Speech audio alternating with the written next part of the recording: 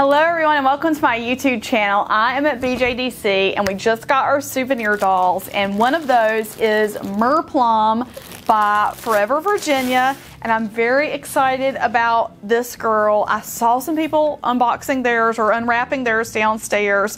This is from the Bubba line. So here is the tag with all the information. This one's for BJDC and the Bubba line and uh, the color is rose water. She is just the prettiest little thing you've ever seen. I'm so excited to get her open because like I said, I've seen everybody opening theirs downstairs. So we've got a little hat. Look at her little sun hat.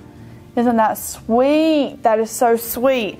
And then this pretty wig. So she's got like this fantasy mermaid sort of colored wig with all these beautiful pastel pinks, blues, and purples. And I love the style of this wig because I love the soft like crimp curl. Oh, it's so pretty. And she, hmm, she has that new doll smell. So I am getting her unwrapped now. Very, very excited about this. Oh my gosh, she comes with a little beach bag. And in the little beach bag, there's like a beach blanket. Oh my gosh, she's got sandals. Look at that. Little sandals for the beach. Oh my goodness, that's too cool. All right, so I'm, I'm like rushing because I just want to get her open and see her. But oh my goodness. Wow, okay. I pull these foams out. She's very well protected, which is great. Um, let's see. And then I'm gonna open the face. Oh, wow.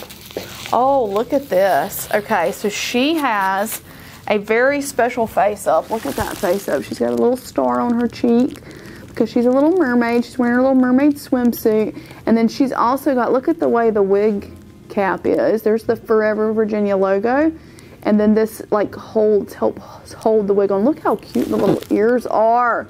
They're precious her little expression is just so sweet. Like she's got a very, very expressive little face and I think it is adorable. So let's put her wig on and put her sandals on and get the full effect because of course we want to see her fully like done up.